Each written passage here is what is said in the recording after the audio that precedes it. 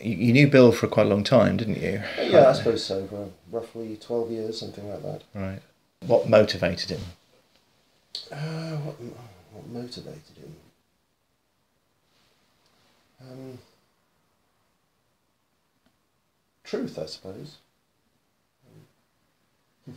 That's a very difficult question to, to answer.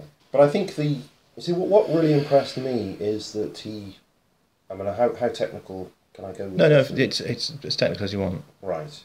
Well, I mean, he didn't call it this, but he used some of the analytical principles of inversional hexachordal combinatoriality, Yeah. which which is a a way of analysing twelve note music within within a sort of Schoenberg um, tradition. I mean, did you did you go to his funeral?